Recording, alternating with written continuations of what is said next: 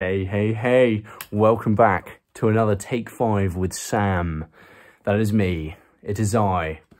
And we are reading yet again more of Psalms. I can't wait. I found a beautiful passage because this is the one we're reading today. and I am reading from my new living translation. I hope you are too, but if you're not, that's absolutely fine. Other translations are amazing as well because it is still the Bible. It is still the truth. And I thought I'd do a quick run through of Psalm 83, not a full run through, uh, because what I really wanted to focus on was the end of Psalm 84. That is the cherry, the cherry. So, Psalm 83, to give you a rundown, I'm not skipping past it. Oh no, he's not talking about Psalm 83. I am, I am, don't worry. Psalm 83 talks about Israel's enemies and how they are plotting against the Lord. Not good. Asaph just wants them to learn a lesson, pretty much, and he wants God to terrify them and let them be ashamed forever. ashamed and terrified forever. That's nasty. Um, but he wants the Lord to show them that God is top dog. He's the top of the food chain.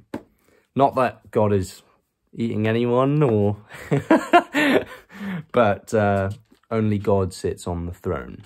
That's what Asaph wants the Lord to teach them. Amazing. So, moving on, we are going to Psalm 84. And essentially, at the end, is one of the most beautiful passages of all time, in my personal opinion. And here we go.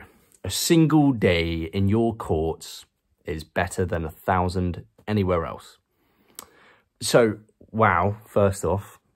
Um, but second off, the, the whole of Psalm 84 is essentially talking about the beauty uh, of living for the Lord and worshipping the Lord, the beauty of, of living a life where the Lord leads the way.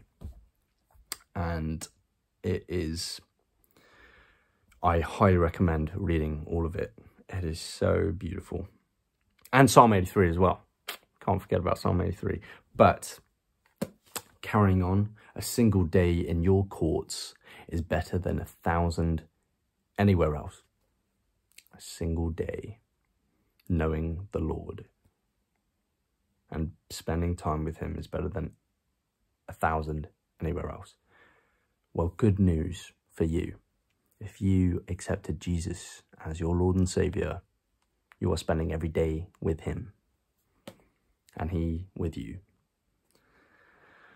So you can be anywhere else and be with the Lord. Thank you, Jesus.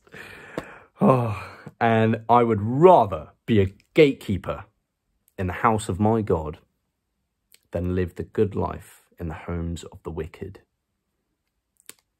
Other translations may say servant. I would rather be a servant in the house of my God. The lowest of the, the food chain, the, the team, but in the house of the Lord. Then live the good life in a home filled with sin. Um, with, with the wicked. For the Lord God is our sun and our shield. He is our comforter. He is the light of our life. He gives us grace and glory. The Lord will withhold no good thing from those that do what is right. O Lord of heaven's armies, what joy for those who trust in you. He brings such joy to you. And he can do that every single day, all the time. All you have to do is follow him because there's so much beauty with living for the Lord. So yeah, I thought this should serve as a wonderful reminder, an encouraging reminder that you are living the good life and you're living right if you know your Lord and Savior. Have a wonderful day. I can't stop. I can't stop reading this. This is so beautiful. I'm going over time, but you know, take another, take another minute. Why not?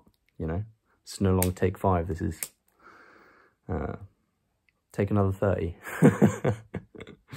but, uh, how beautiful, how beautiful. Read all of that, please. Such a beautiful passage, and I hope you have an even more beautiful day. Be blessed. Much love. Catch you in the next episode. Bye-bye.